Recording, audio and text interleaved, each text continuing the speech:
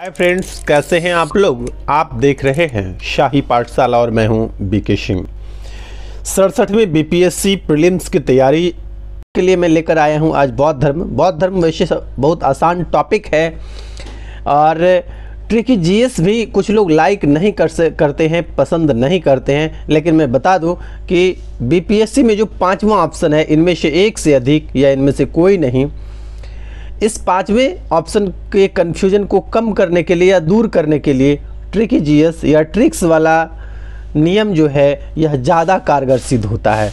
पांचवा ऑप्शन आपका बिल्कुल गलत नहीं होने देगा। पाँचवें ऑप्शन पर कॉन्फिडेंस लाने के लिए आपको ट्रिकी जीएस या इस प्रकार से पढ़ना ज़्यादा कारगर होता है। तो आइए हम लोग यहाँ पर ट्रिकी जीएस के माध्यम से पढ़ते हैं। ट्रिकी जीएस में मैंने कुछ पॉइंट्स भी लिखे हैं। बौद्ध धर्म यहाँ से शुरू है। बौद्ध धर्म के प्रवर्तक बुद्ध का जन्म कपिल वस्तु के लुम्बनी नामक ग्राम में शाक्य क्षत्रिय कुल में पाँच सौ तिरसठ ईस्वी पूर्व में बैसाख कृष्ण पूर्णिमा को हुआ था।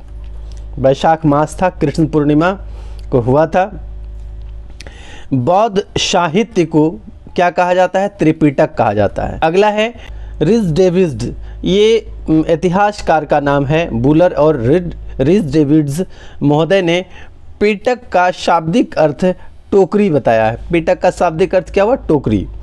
गौतम बुद्ध को एशिया का ज्योतिपुंज यानी लाइट ऑफ़ एशिया कहा जाता है।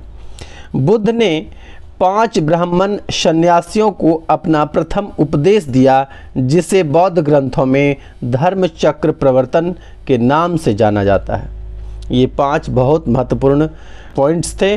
मैंने बताया, आइए आगे चलते हैं अब ट्रिक्स की ओर। यहाँ पर एक ट्रिक्स है, सीमा, सुगा लूयार तो यहाँ पर बौद्ध के बारे में उनके परिचय को मैंने इसमें, इस ट्रिक्स में लिया है। शी का मतलब सिद्धार्थ से है, सिद्धार्थ आप लिखते हैं तो सी है। माँ का मतलब महामाया। शी फॉर सिद्धार्थ, माँ फॉर माया, महामाया। सु फॉर शुद्धोधन सु फॉर शुद्धोधन। ग फॉर गौतमी, ग फॉर गौतमी। लू मतलब लुम्बिनी, या मतलब यशोधरा, र मतलब राहुल। तो इसको यदि आप इस प्रकार से सी मतलब सिद्धार्थ तो सिद्धार्थ क्या है? गौतम बुद्ध के बचपन का नाम है। गौतम बुद्ध यदि कहीं पर कंफ्यूज करता है किसी विद्यार्थी को तो निश्चित रूप से महावीर स्वामी कंफ्यूज कर देते हैं। क्योंकि बहुत कुछ महावीर स्वामी और गौतम बुद्ध में समय का तो समानता है ही। एक समय की तो बात है, उसके साथ साथ नाम में भी बहुत सारा कन्फ्यूज़न है। यदि आप यह ट्रिक रखते हैं अपने मन में याद तो कोई भी नाम इधर से उधर आपका नहीं जाएगा। सब का सब नाम आपको सही से याद रहेगा, क्योंकि सी फॉर सिद्धार्थ, मा फॉर महामाया, शु फॉर शुद्धोधन, ग फॉर गौतमी, लू फॉर लुम्बनी या, यानी यशोधरा, रा फॉर राहुल। सी मतलब सिद्धार्थ जो है, बुद्ध के बचपन का नाम है। महामाया, उनकी माता जो कोलिय वंश की कन्या थी। शु फॉर शुद्धोधन, उनके पिता थे, शाक्यगण के मुखिया थे। ग फॉर गौतमी, मौसी या सौतेली माँ, प्रजापति गौतमी थी। लू फॉर लुम्बनी, बुद्ध का जन्म लुम्बनी में पाँच सौ तिरसठ ईस्वी पूर्व वैशाख पूर्णिमा को हुआ था।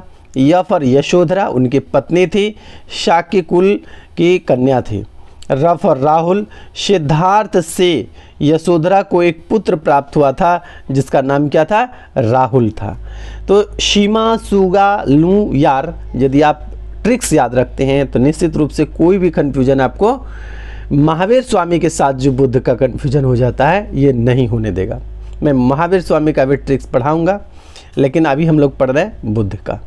आइए आगे पॉइंट्स देख लेते हैं। पॉइंट्स में है, सिद्धार्थ यानी बुद्ध के गृह त्याग ने, त्याग को बौद्ध ग्रंथ में महाभिनिष्क्रमण कहा जाता है। सिद्धार्थ ने जब घर छोड़ा था, इस घटना को बौद्ध ग्रंथ में क्या क्या कहा गया है? महाभिनिष्क्रमण। अगला पॉइंट है बुद्ध की मृत्यु चार सौ तिरासी ईस्वी पूर्व में कुशीनारा देवरिया उत्तर प्रदेश में हुई, जिसे बौद्ध ग्रंथ में महापरिनिर्वाण की संज्ञा दी गई। यानी बुद्ध के मृत्यु को क्या कहा जाता है? महापरिनिर्वाण कहा जाता है। अगला पॉइंट है ये प्रश्न बहुत पूछता है कि क्या बौद्ध धर्म में या बौद्ध ग्रंथ के अनुसार बुद्ध पुनर्जन्म में विश्वास करते थे? तो आपको यहाँ पर स्पष्ट कर दिया गया है कि बुद्ध धर्म, बौद्ध धर्म जो है पुनर्जन्म में विश्वास करते थे। आइए, आगे बढ़ते हैं। आगे एक और ट्रिक्स है। ये बौद्ध धर्म से पूछा जाने वाला सबसे ज़्यादा महत्वपूर्ण टेबल है। यहाँ से सबसे अधिक क्वेश्चन पूछे जाते हैं, प्रश्न पूछे जाते हैं।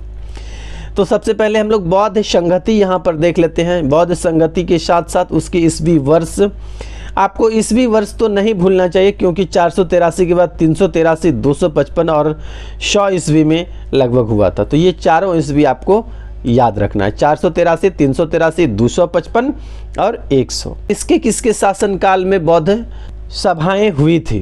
बौद्ध सभाएँ जो हुई थी तो हम लोग बोलते हैं आजा काला शोक कनिष्क। ठीक है? अका अक इसको बोल सकते हैं। यहाँ पर मैंने लिखा है अकाक और यदि ऐसे बोलेंगे तो आजा काला, शोक, कनिष्क। आजा काला, शोक, कनिष्क। आजा मतलब अजात शत्रु, काला मतलब काला शोक, अशोक कालाशोक अशोक, कनिष्क।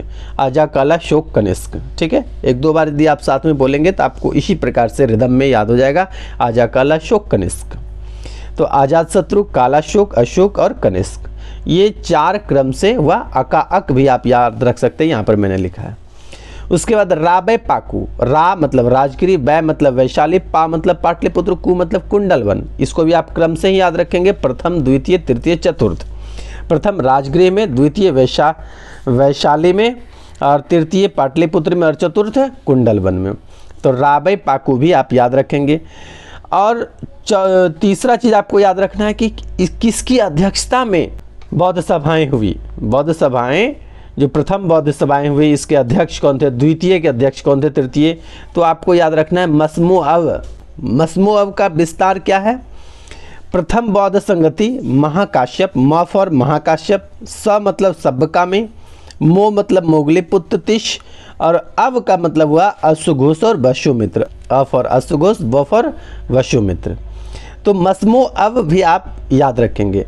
अश्वघोष और वशुमित्र में आपको यहाँ समझना पड़ेगा कि चतुर्थ बौद्ध संगति जो थी, यही एक बौद्ध संगति हुई थी, जिसमें उपाध्यक्ष भी था और इससे पहले तीन बौद्ध संगतियाँ जो हुई थी, उसमें उपाध्यक्ष नहीं थे।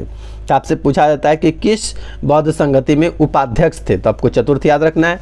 दूसरा, कि अश्वघोष जो थे, वह उपाध्यक्ष थे और वशुमित्र अध्यक्ष थे। ठीक है? उपाध्यक्ष के बगल में मैंने उपाध्यक्ष लिख दिया है, बाकी ये सब अध्यक्ष हैं तो उनके बगल में नहीं लिखा हुआ, क्योंकि हेडिंग ही अध्यक्ष का है।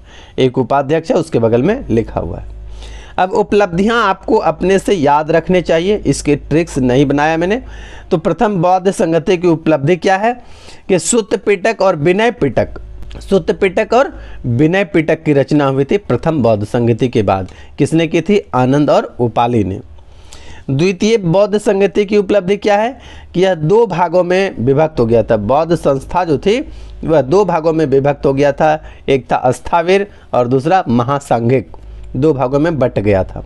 तीसरी बौद्ध संगति की क्या उपलब्धियाँ हैं? तो अभिधम्म पेटक संघ भेद रोकने के कारण। ठीक है, अभिधम्म पेटक का संघ भेद जो है, यह रोकने का कारण बना। चतुर्थ बौद्ध संगति की क्या उपलब्धियाँ हैं? हीन यान एवं महायान में विभाजन हो गया।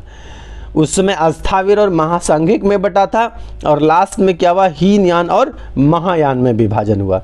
तो चतुर्थ बौद्ध संगति में बौद्ध के जो संगठन था, वह दो भागों में बटा। एक का था हीन यान और दूसरा हो गए महायान। ठीक है? अगला है, बुद्ध के जीवन से संबंधित बौद्ध धर्म के प्रतीक। बुद्ध के जीवन से संबंधित कुछ धर्म प्रतीक भी है।